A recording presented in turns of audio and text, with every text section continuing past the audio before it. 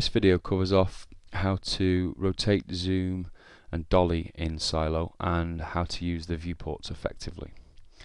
So we'll start by right clicking and hit create and then cube and don't touch any options, we'll just have a straightforward cube.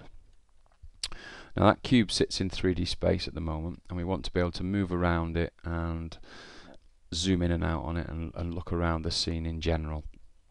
And um, what I'll do is quickly control and C which is copy. And then control and V which is pasting in another cube. And I'll do that again and again. And I'll just move those which we'll cover off later just to show you. So we've got four cubes in space. Now first thing to notice is that we want to rotate around an object. So if we hold down alt on the keyboard and then either click in the middle or on the edge and then just move the mouse around. You can see that wherever my mouse click is becomes the center. And we move around that.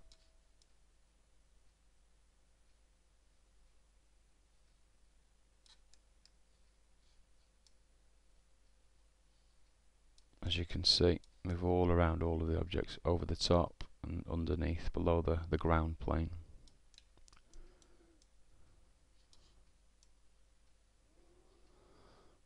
and you're pulling from the mouse position. Okay, so while I was doing that, what you might have noticed is that I zoomed in and out, like so. So I'm holding down Alt and using the right mouse button and then dragging the mouse left or right. So left goes out, right goes in. These are configurable, but this is the default setting. So now combination of those two, rotate, zoom, rotate, zoom, and you can also while holding alt use the roll in and out like so. And that's incrementally zooms in and out. So now add to that one last one which is holding down the middle mouse button with alt. And that gives you the ability to dolly up and down left and right. So we'll just repeat those to make sure it's quite clear. So rotate alt left mouse button rotating all the way around Alt middle mouse button and Alt right mouse button zoom in and out. Now with a combination of those, so holding down the Alt button and just using the three buttons, you can navigate all the way around these objects. You can even navigate through them. Okay, that's fundamental to the basics of subdivision modeling and uh, the quicker you grasp the ability to move around in 3D space the quicker you can navigate around your objects.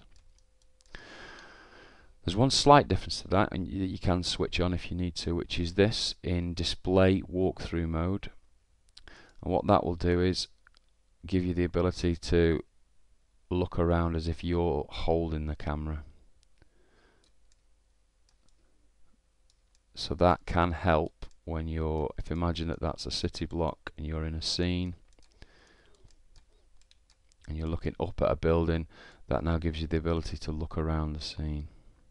Called walkthrough mode obviously because we can now do that as if it's a first person shooter. I'm still using the same commands, holding down Alt all the time and I'm just moving around the scene. Or if you wish to fly, you just go up in the air. Looking around. That's walkthrough mode.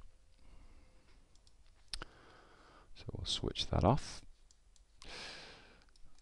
Okay, so this is a single viewport that you can see in front of you. We'll just open up a new scene.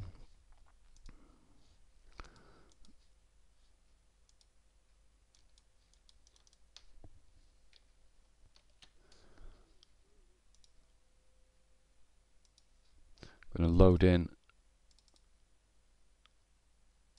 basic cube shape. Now,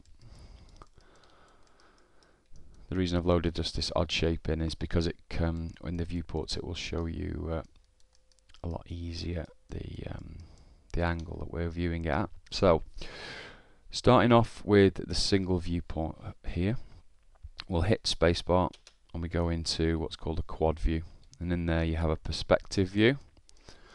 and because I was just using that I've clicked in it I'm now actively um, affecting the object that's in there. If we click in this bottom one we get a front view which is a flat plane single plane view. Same object but seen from the front. Click in this one seen from the top. Same. And this is a UV 2D view for when we're texturing.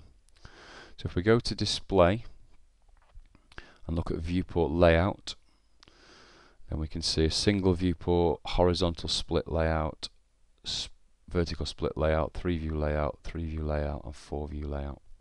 So what we're going to do is look at some of those. So horizontal layout which can be useful for um, certain types of vehicle modeling or um, if you just need two screens on um, with very low objects this one wouldn't be too useful for this type of model because it's vertically quite high so we'll go to display.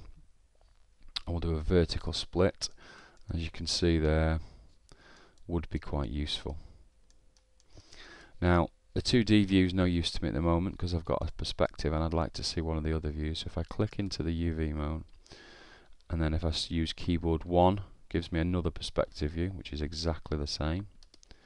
Keyboard 2 front 3 bottom 4 left. Keyboard 5 is the top keyboard 6 is the right. So presuming that that would be the one I wanted we'll then start acting in that window. Again you've got a single plane. So I'm using the um, tools the, the commands that I've already shown you which is alt left mouse button isn't going to really do too much useful because it's just spinning around in the single plane. We've got the middle mouse button is pan which is very useful in a single plane. And then alt right mouse button gives us a zoom in and out. So a combination of the two you can affect parts of the object that you need in a very controlled way. So we just go back and look at one or two more. So let's have a look at three. And again we can change these to any that we require just by using the keyboard shortcuts and at any time if you want to go to one of those single views so for example if we want to use full screen on here we hit we put a mouse cursor into that window and hit space. And it gives us that window space and we're back. Don't see that one? Space and we see it. This one like so.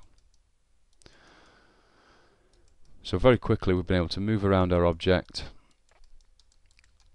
zoom, zoom in and out give us the size we need for the piece of uh, work that we're doing. We can get into different viewports and very quickly be able to um, work on different parts of the the object in a size that would suit the piece of work that's that's being done.